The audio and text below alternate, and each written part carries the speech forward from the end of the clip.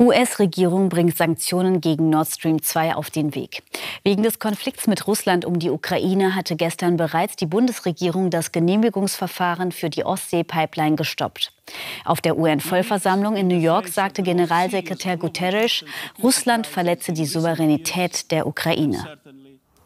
Ukraine stellt sich auf Konfrontation mit Russland ein.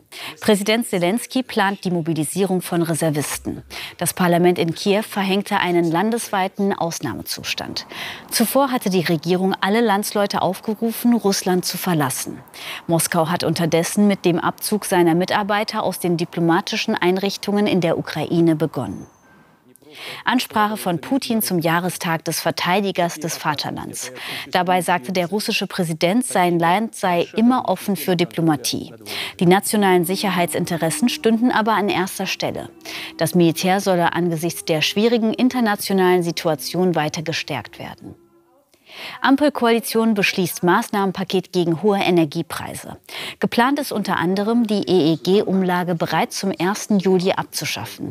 Zudem soll die Fernpendlerpauschale rückwirkend zum 1. Januar erhöht werden, und zwar von 35 auf 38 Cent pro Kilometer.